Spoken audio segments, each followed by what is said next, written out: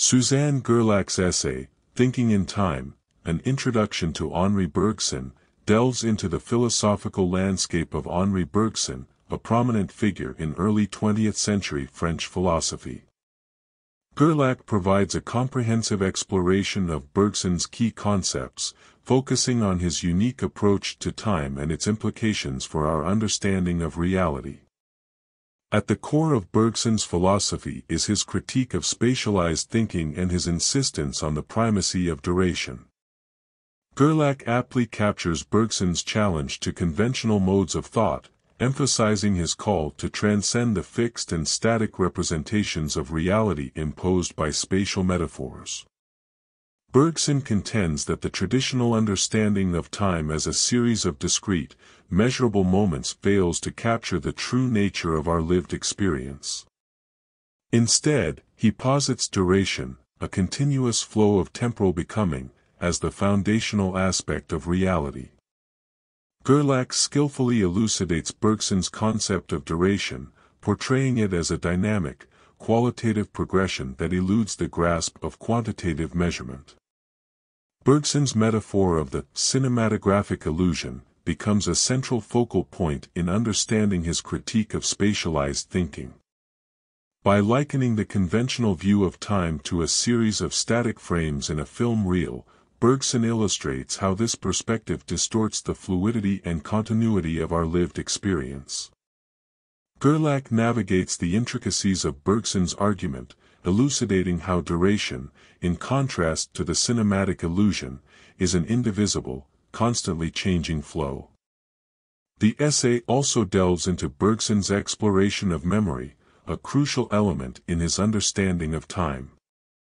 Guerlac elucidates how Bergson distinguishes between habitual, utilitarian memory and pure memory, which allows for a direct connection with the past.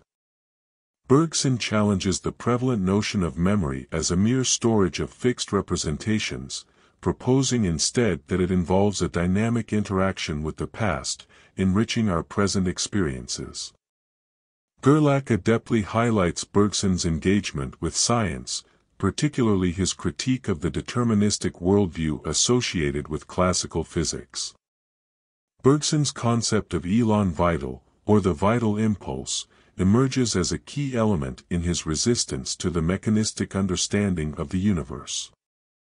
Guerlac navigates Bergson's engagement with scientific concepts, emphasizing how his philosophy seeks to reconcile the scientific and the metaphysical, recognizing the limitations of each domain. The essay also explores Bergson's influence on other philosophical traditions, notably existentialism and phenomenology.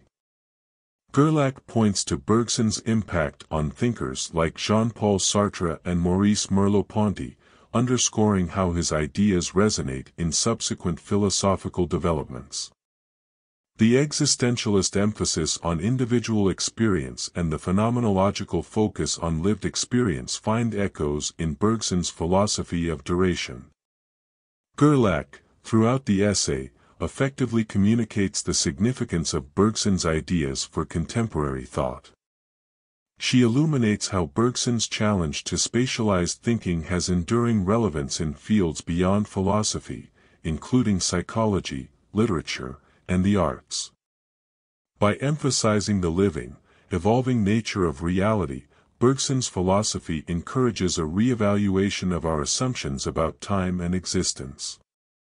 In conclusion, Suzanne Guerlac's exploration of Henri Bergson's philosophy in Thinking in Time, an introduction to Henri Bergson, offers a nuanced and accessible overview of Bergson's key concepts.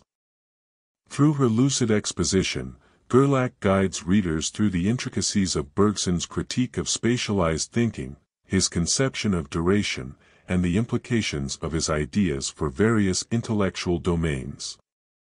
The essay not only serves as a valuable introduction to Bergson's thought but also invites readers to reconsider their fundamental notions of time and reality.